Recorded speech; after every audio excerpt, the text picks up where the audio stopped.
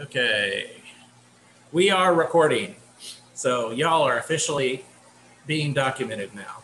So um, I guess for our roll call, we probably have to start out with that. Uh, I am Bruce Hartley. I'm assistant professor of communications the communications part, uh, assistant professor of communications, duh, communications department.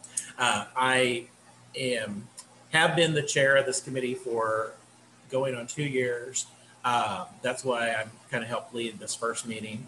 Um, I've been with Rogers State for four years. Uh, my previous university was East Central University down in Ada, Oklahoma, and before that I taught in Memphis. Uh, my specialty is public relations. Uh, I have a 30 plus year um, professional experience in the field of public relations and marketing in the business world, and I'm kind of a new teacher. I've only been teaching uh, at the university level now going on for eight, nine years. So I, I'm relatively new. So if everybody would go around, oh, Heidi is here. Hey, Heidi. Let me unmute myself. Hi, just my other meeting got out early, so I thought I'd jump on. Well, I'm so glad you're here. Um, you. we have just been kind of, I we've been talking with um, Catherine and Tom, who are new community uh, committee members, talking about kind of what we've been doing over the past couple of years and what kind of this committee does. Uh, Chris and I gave them a little bit of information on that, and we were actually just started recording a few minutes ago. So, and I said I'm going to record this and send it to Heidi and see if she'll do notes. Oh, I'll definitely do notes for you. Sure, no problem. So I was just introducing myself, and I thought we'd go around the room and everybody can introduce themselves. You know all about me. Um, Heidi, everybody, Heidi is a superstar, and Oh, thank you. and we work together on a lot of projects. Um, she she is all I can say is we're we're blessed to have Heidi, and she needs to hear that more from faculty, is what I think. So. So I suck up. Hey, you don't need to suck up. I totally appreciate every good, kind word, and also uh, constructive feedback is good too. So I don't mind that a bit. I uh, check my ego at the door every day and just come to do good work for students. So um, that's the most important thing to me is that we uh, help students have transformational experiences, which mean that they earn college degrees and change the trajectory of their life. So yes, yes. that's important to me. Well, um, Heidi, do you want to introduce yourself, uh, kind of a little bit about uh, what you do, where you come from, and that type of thing? That's what I did, and then we'll go around and we'll let everybody else do the same thing. Cool, sure. Well, in a nutshell, um, I have been here at RSU for five years as the VP and registrar. Um, I came from Kansas, uh, small school called Friends University in Wichita, where I was 10 years. Uh, left there as interim vice president of academic affairs. Um, and uh, before that was at a proprietary or not-for-profit graduate program uh, training clinical psychologists and uh, marriage and family counselors. Um, and uh, so that was a lot of fun. Was vice president of administration there, um, and before that, just uh, had a laundry list of other great uh, student affairs, student support service roles, um, and really uh, knew that was my passion when I was an undergrad in college. I took a left turn in the student activities office became a resident assistant in my uh, residential life uh, area and just knew that I wanted to be in college forever. So my parents were like, What? You can do that for a job? Are you kidding me? I said, Oh, sure, you can. Let's do it.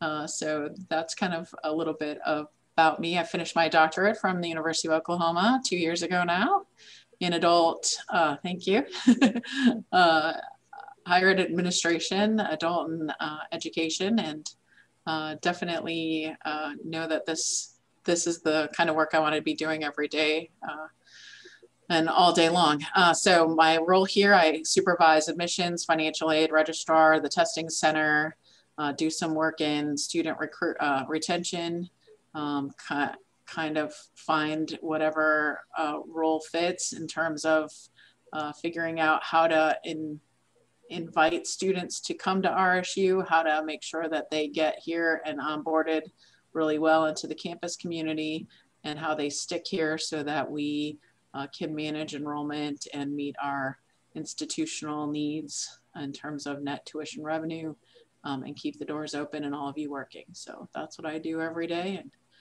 and love doing it and really see this committee as a vehicle to help us do better what we do every day. So thanks for letting me be a part of it. Heidi, um, I was just, for those of you go, we had a vacancy of our director of admissions and Heidi and I, I was on the search committee for that. Mm-hmm. Have you guys made any decisions on that yet that this committee could hear about or is it premature?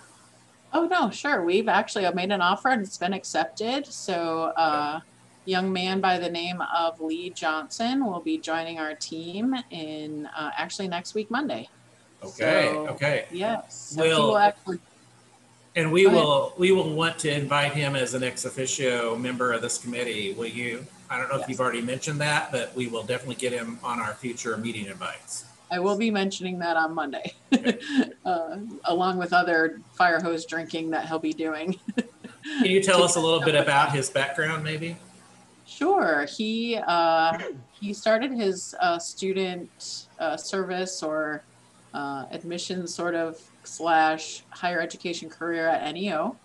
Um, he was a coach and uh, residence life person there, and then moved on to be director of uh, assistant director of admissions and director of admissions at several other institutions, including Southern Nazarene uh, Grand Canyon University, um, and also did a stint with a educational uh, corporate en- entity uh, doing some work in uh, pipeline development and uh, educational coaching. So um, what I really like about his background is he will allow us to build some infrastructure in an area that we uh, haven't really been able to focus on, but really see a need to focus on, and that is uh, two things, sort of the adult market returners to learning, um, and also those stu- uh, potential students who are employees and have employer reimbursement programs um, to solidify those pipelines and,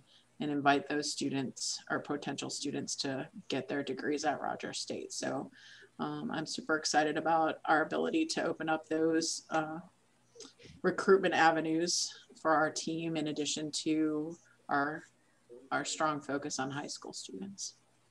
Excellent. Excellent. Thank you.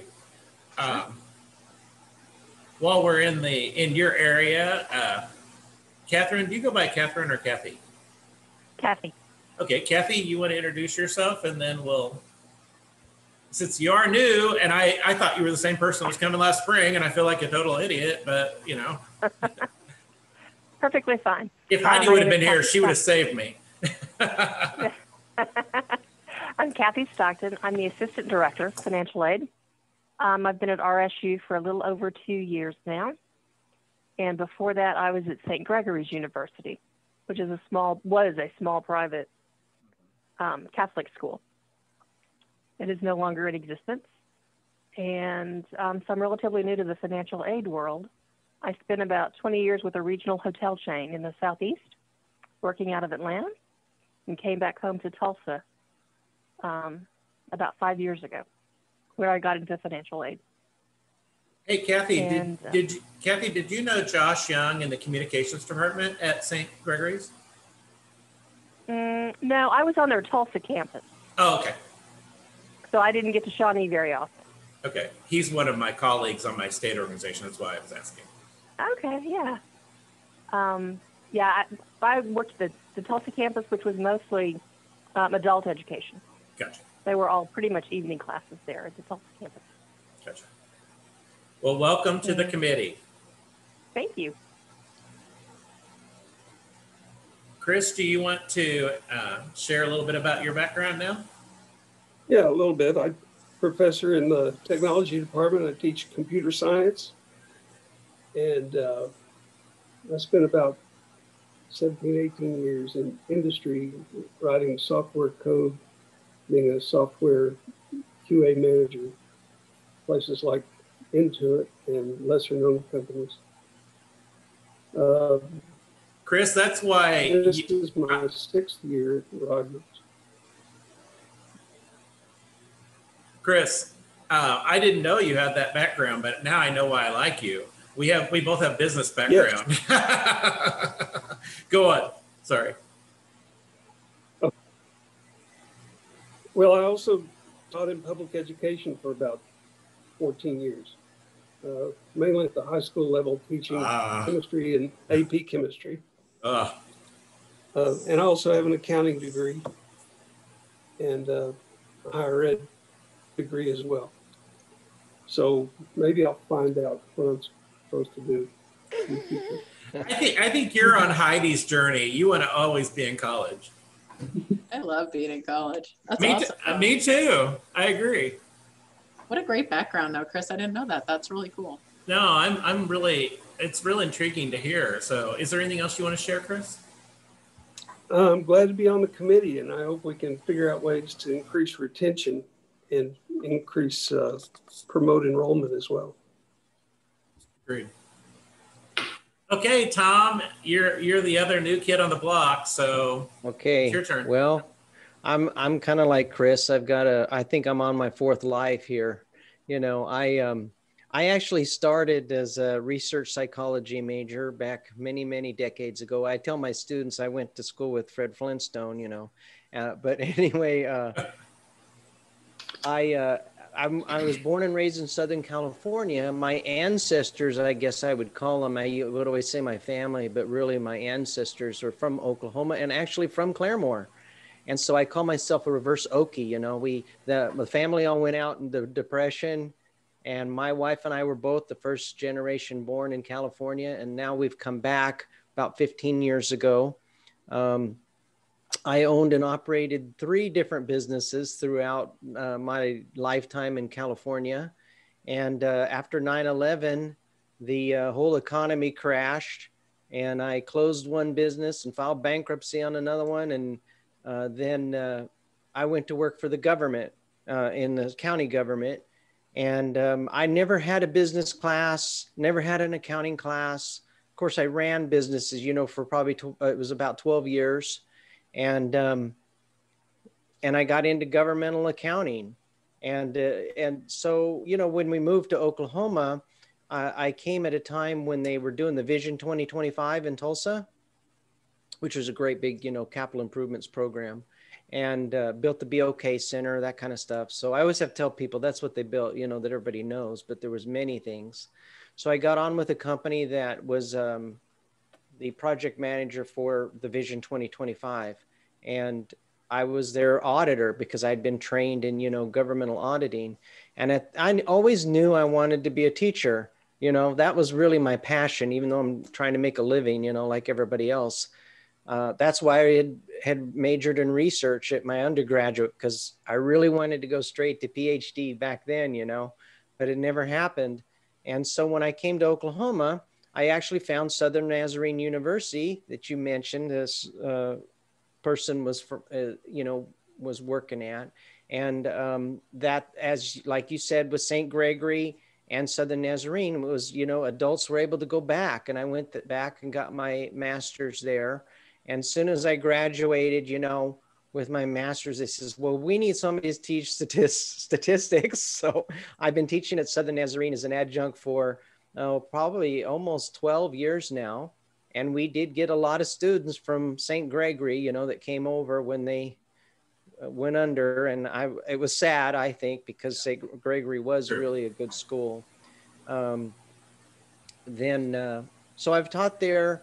I went back and got my doctorate in business. And because I really always wanted to teach. So my, my last job before coming to RSU which I just started last year, 2019. This is my second year. Um, and I was a chief financial officer for Tulsa County government. So through the Vision 2025, that was a county thing.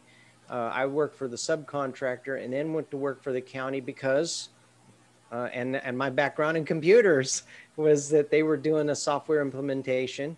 And so they needed people that understood that. And um, I went to work in the finance office at Tulsa County And when the CFO at that time had left, then I was able to promote into that position.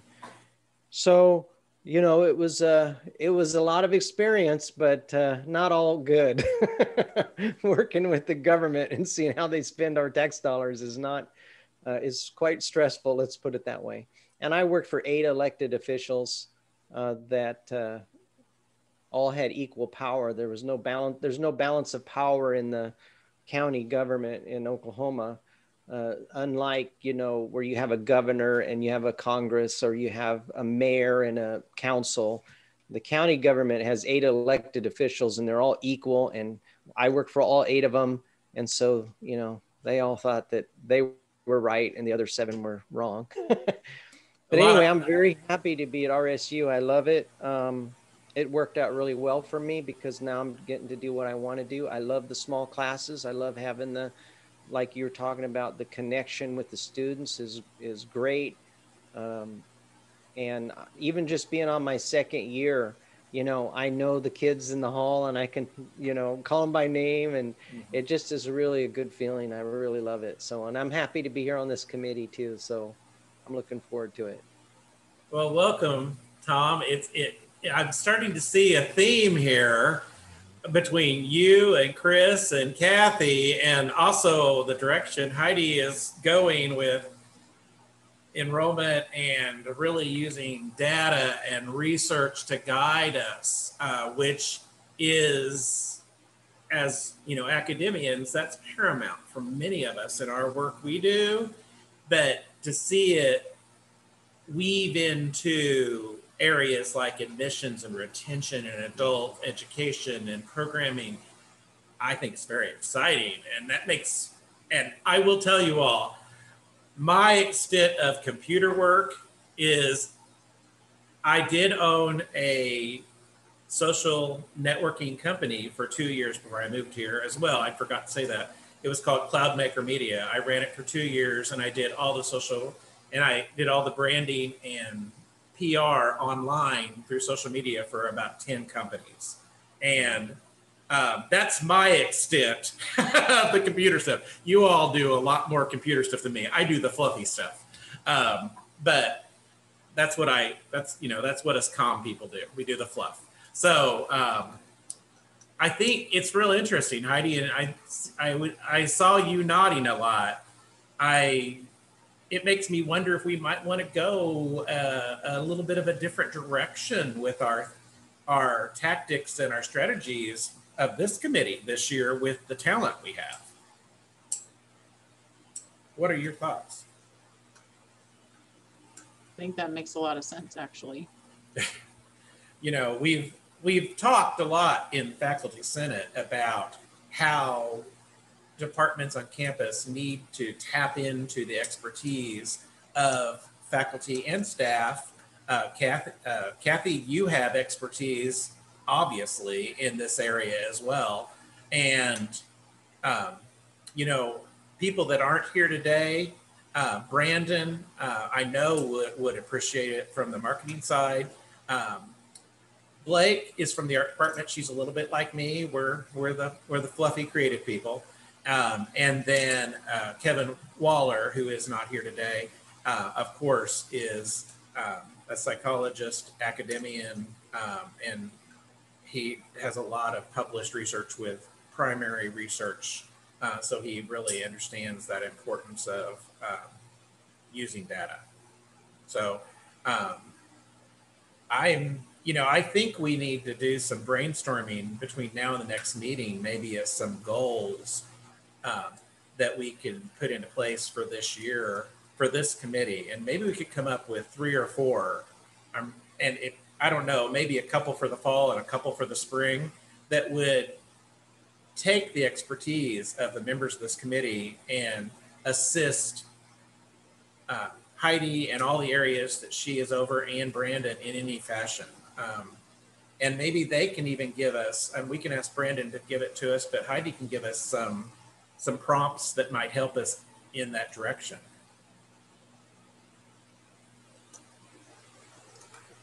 I like that idea. I think I think to Chris's point earlier, one of the things that we probably haven't done really well, but we really need to to take a more intentional look at is is who's retained and how, um, and then how we support.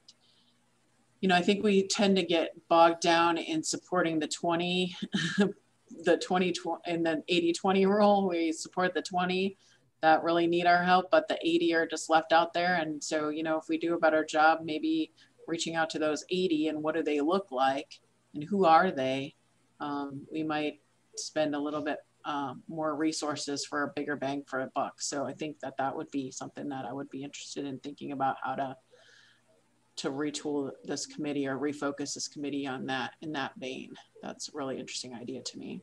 You know, I don't think we have to do the committee just like we did the last couple of years. I think we need to use our strengths, and I and I'm seeing strengths emerge as we're you know as you all shared your backgrounds, the three uh, members.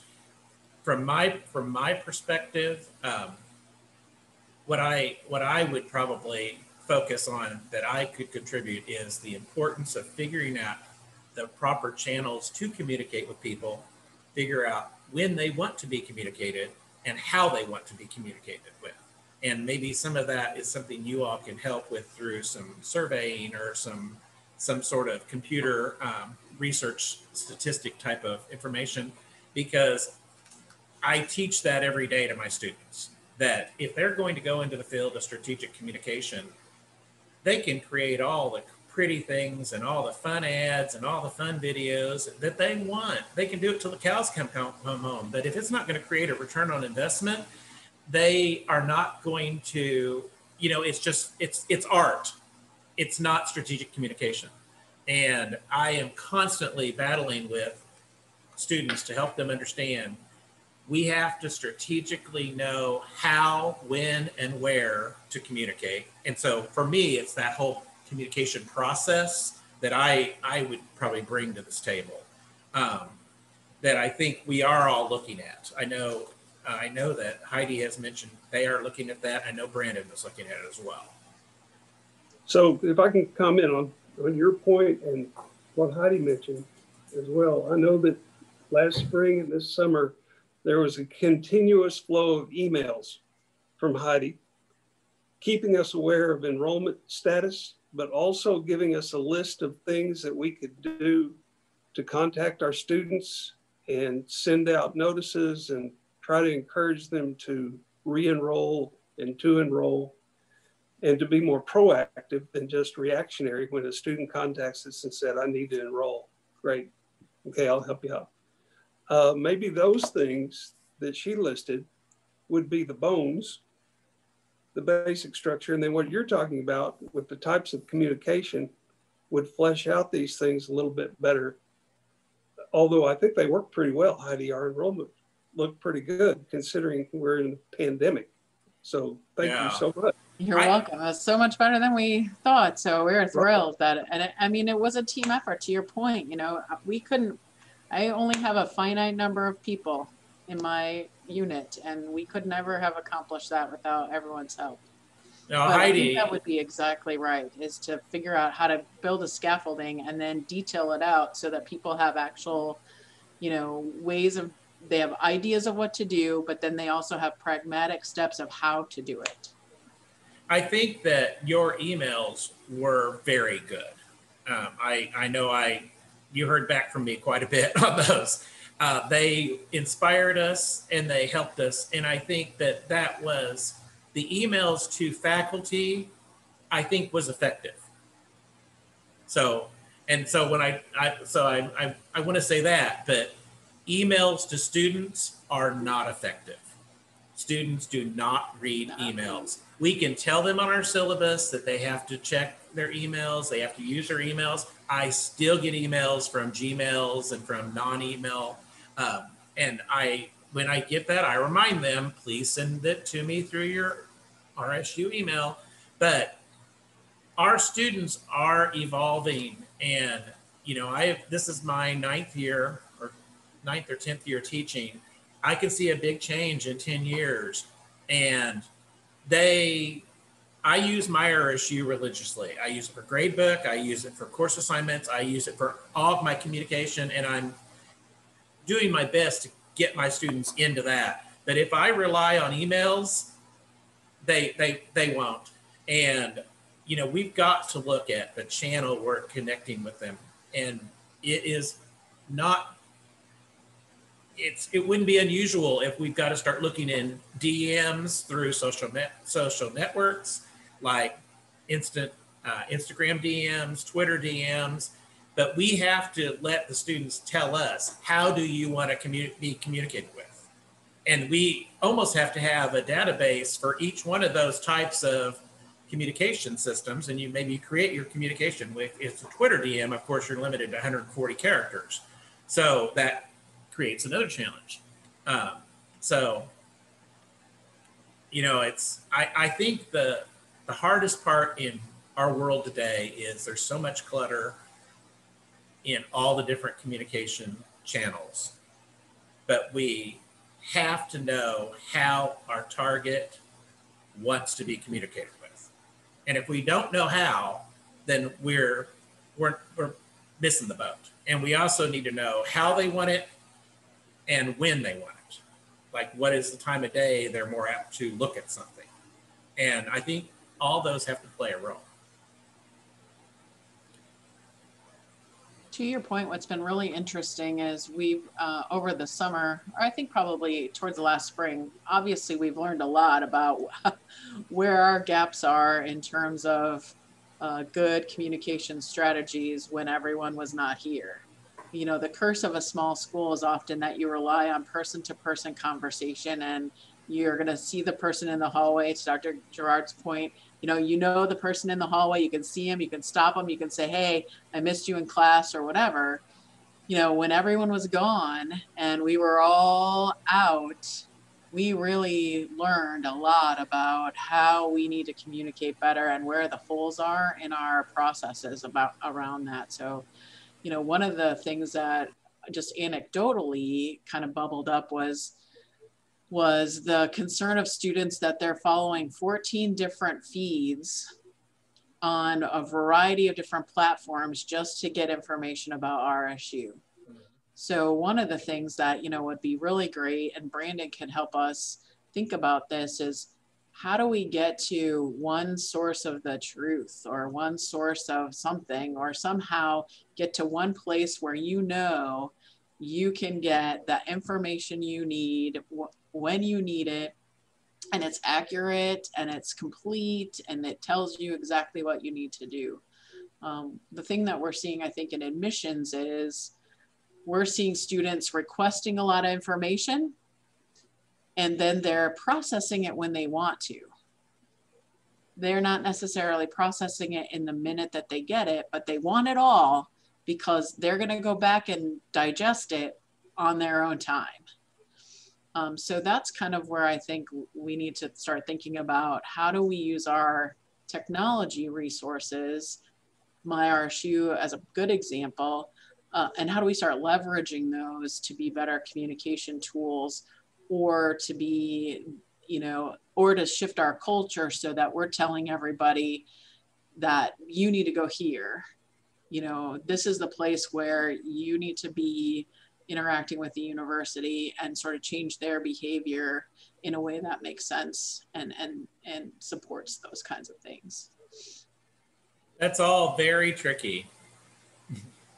And the side of if we want to change a culture of communication with digital natives that are coming to us after growing up with technology and we are the i for instance didn't grow up with technology it's tricky to say to us for us to decide how they need to do it. We've got to let them help us decide.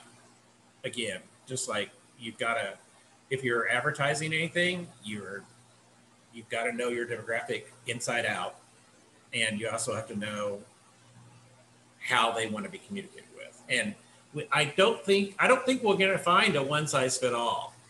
Um, I think we might have a consistent message that is that, that is a consistent strategic message and that can be monitored and created and distributed somehow.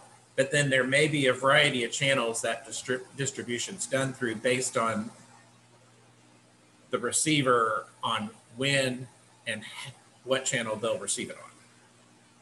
And when I say channel, Oh, I'm, yeah, I think that that's, ab- yeah, I mean the channel could be right. all the different options. Uh, you know, is it a phone call? Is it a face to face? Is it a direct message off a social feed? Is it an email? Is it my RSU announcement?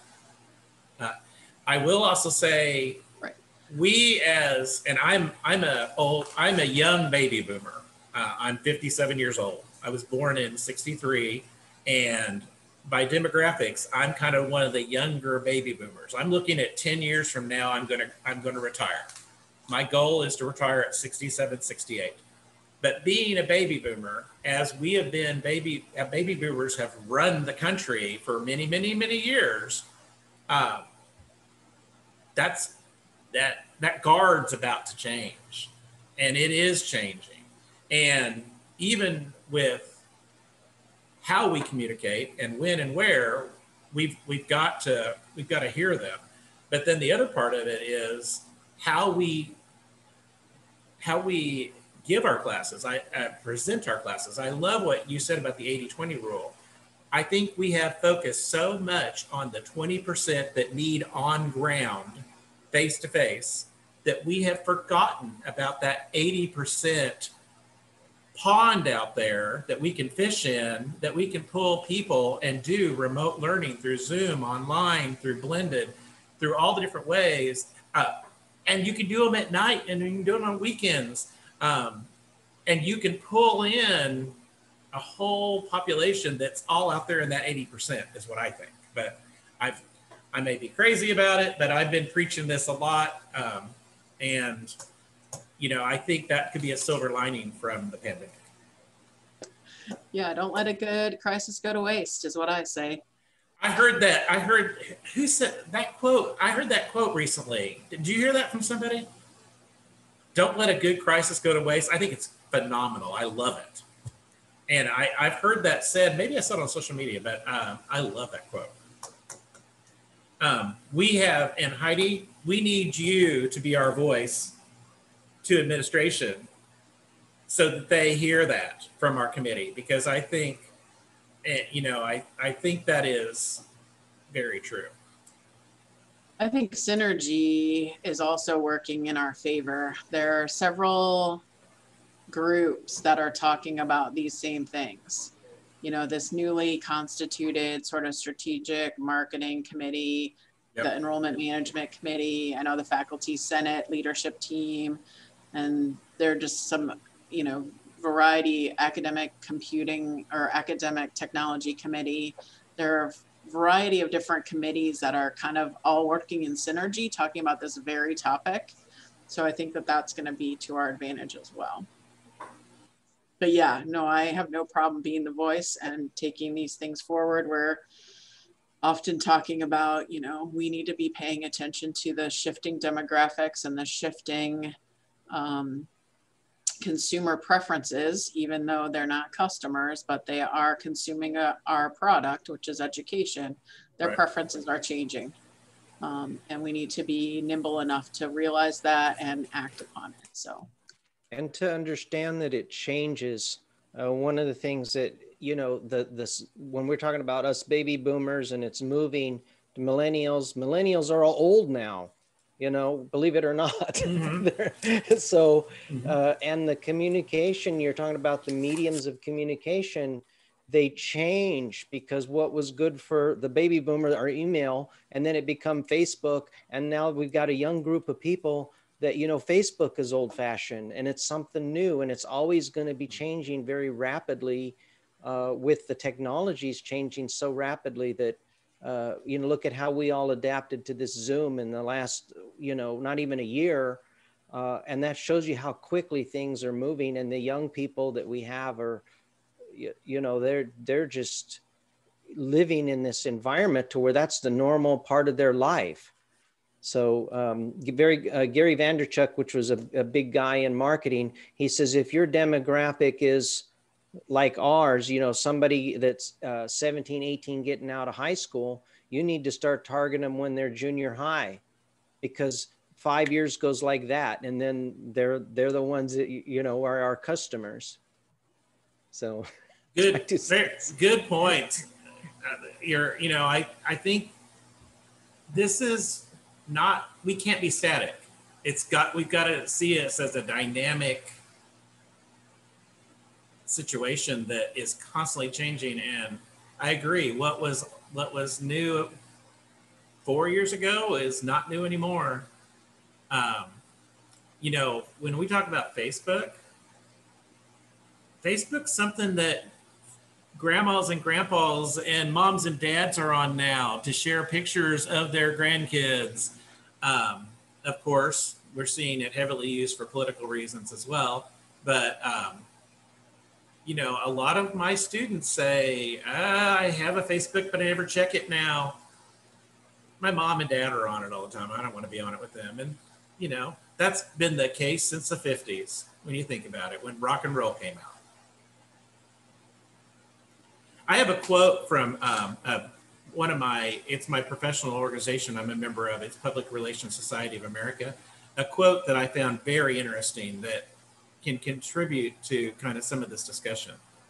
And it is a Gartner survey of corporate leaders found that 82% plan to approve offsite working at least some time, some of the time, and 47% saying they intend to allow it to happen full time going forward. When you think of that quote, if that's what the business world's doing, we need to think about that in the academia world. And yes, our students are natives of digital and they I think they embrace all the different options probably quicker than I know I do as as an old baby uh, young baby boomer. Um, but I will also say, in talking to other colleagues of, about Zoom and about that, um, how we present our product, you know, teaching through Zoom, that I've heard mixed feelings from faculty and staff on, on campus. I will tell you, for me, I have near have had nearly perfect attendance in my Zoom classes by my students, but I also require that I take attendance and they get attendance points for coming. So they have to be there, they have to check in, they have to stay engaged.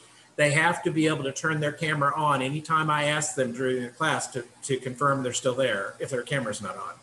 And those are things that some people that do Zoom classes don't think about doing. And my students, I, I must have the bluff on them or something, but um, my my students in my Zoom classes, I've got I mean, I rarely have one missing, but that might be the most. And that's because they have an appointment or something, and I will approve it as an excused absence if they can verify it. So um, I think we've got to look at this. I mean, I know we just recently turned in our teaching accommodations for the spring. Um, anyone that wanted to have teaching accommodations for the spring. And I found that very interesting that we turned them in for the fall, but we had to turn them again in again for the spring. I don't know why we they didn't just repeat them for the spring in the situation we're in. And they could even be what's repeated for the future for many people. So So at this point, uh, we've been kind of zooming for a little over an hour. I, I really, this, you know, this kind of basic discussion about where we've been and, where we might go with this committee was kind of what I hoped we would do today. And I think we've got a lot of good ideas. Um, if I think we need to decide a couple of actions. And the first one is who will be the chair for this new year and who will be the secretary for the new year. And as I'll tell you what is what the chair does. The chair helps set the agenda, working with the secretary for the meetings, sends the agenda out, gathers everybody together on a good meeting time, um, and helps lead the meeting. Um, the secretary keeps minutes and then supplies them to um, uh, the faculty senate where they keep copies of all the minutes from all of our committee meetings um, on a timely manner and that's that's what we do and last year um, heidi helped helped me with scheduling the Zoom meetings as well, and that was that was really helpful as well. So that's kind of what we do. We try to meet once a month in the fall and once a month in the spring. So this is September. So I would say we would just do an October and a November meeting um, for what's left. So two more meetings this fall, and then we would come back together and do a, a February, March, and April in spring. Um, and that would get us, we don't have to meet that often, but I think we have enough to do that we can. Uh, I do like to limit, I've liked to limit, limit the meetings to no more than an hour to an hour and a half because I know we're all swamped. Um, how does all that sound, everybody? Sounds good. So, um, I would like to step down from being chair. Uh, I've done it for two years. Uh, and like I said, I, I'm on the strategic marketing committee and I'm also on the diversity committee. So I've got three committees this year and I've stretched myself out a little, little far on faculty senate committees. And um, I will still, of course, be active on the committee and do whatever I can do to assist. But I, I would like to see if um, someone else would like to step up as the chair for this committee. Um, anybody?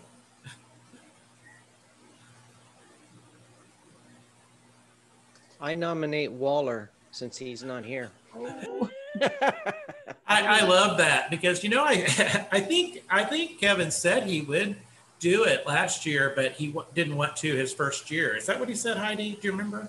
Sort of. I think he said he might be interested, but only if you made him, I think Yeah. was what I think I said. You know, he is the vice president of our faculty Yeah. senate. So he, and I know he is on serving on numerous committees, kind of like myself. So um, I don't, he probably has more committees than I have. Um, but um, I think that's, I think that's an idea. Well, if I stayed as your secretary, right-hand person, would you consider remaining the chair just to give a little bit of continuity to some of the initiatives we might bring from where we left off and then morph into new initiatives this year?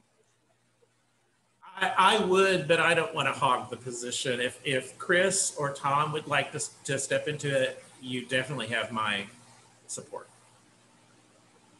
Um, I'm, I'm, that's very nice, Heidi, and I would consider that, but I definitely want to, I, you know, I, I'm looking at Chris right now. Uh, this is your, too, but he's not is- looking at us. I know he's looking the other way. It's like in class like, when, What the- else can I do? What when else- don't have eye contact with the professor. Is that better? Chris, would My you have an, would you have an interest in being the chair? Uh, we could talk about it. Why don't you and I get together and talk about it since you've done it for two years? Okay. We can do that.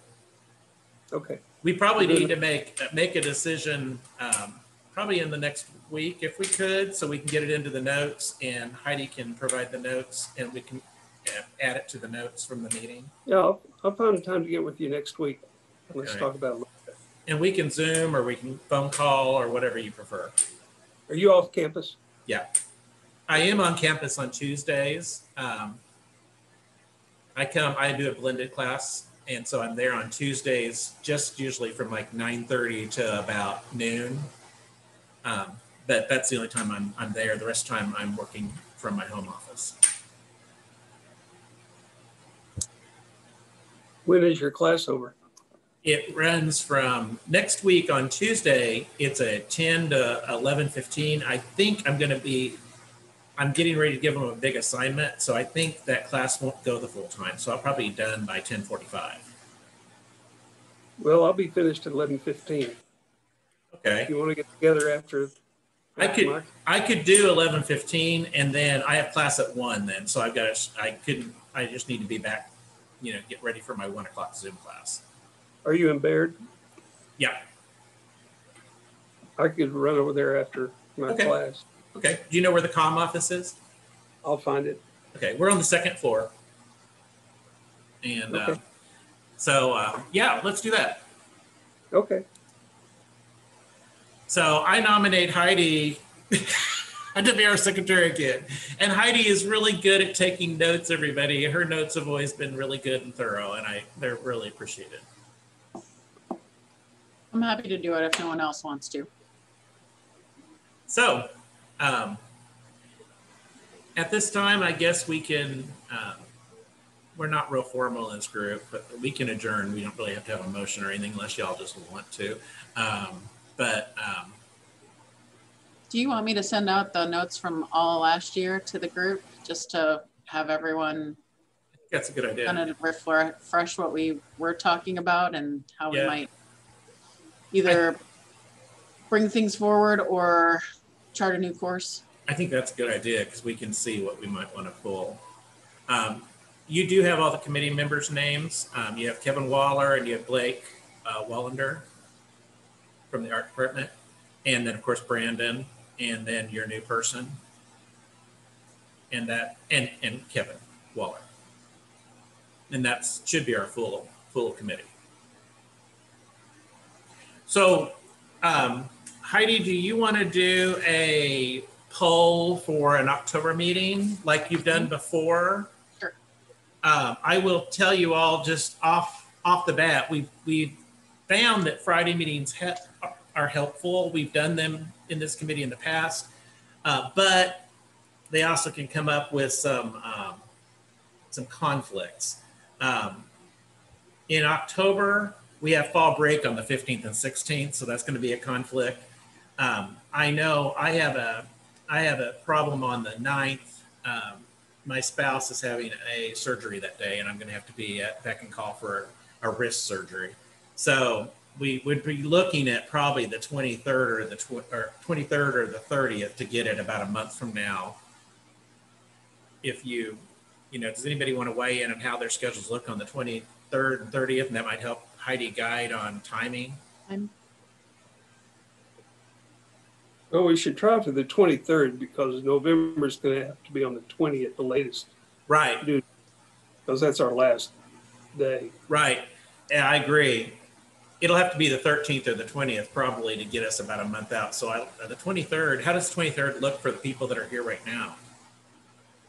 Mine's open. I'm gonna, I'm gonna check Fine. mine here. Okay. my morning is good that day. I can't do afternoon. I've got a nine o'clock and that's it. Would you be done by 10 or By 10:30? 10? Yeah, I'd be done by, should be done by 10. Okay. I like 10 o'clock if that works on the 23rd, but Chris, how's it look for you? It looks fine right now. Tom, are you finding Right anything? now, it, it's good for me. Okay, Heidi, get it out quick. You know you've got all of us. I'm gonna book it right now, and if And- others can't go, then and and I am we'll talk about it. and I'm recording this session, and I uh, I will send the recording out to those that missed the meeting, so they can at least see what they missed and know kind of where we're going. So um, so tentatively the 23rd at 10 on Zoom. And then the other piece of it is between now and then, we all need to be thinking about everyone could bring one or two ideas of some uh, strategies or, ta- or tactics that we'd like to see this committee do between now and the end of uh, May or April 21 over the next two semesters would be really good that we could kind of talk through those ideas and maybe we can narrow them down to what we think we could do. Uh, and then, um, and Heidi will be sending out last year's minutes for everyone um, that can look at and see kind of what those are, and that might guide you a little bit on some ideas for that. You said bring two ideas. I think a couple, yeah, you know, two or three, whatever, whatever people can can do.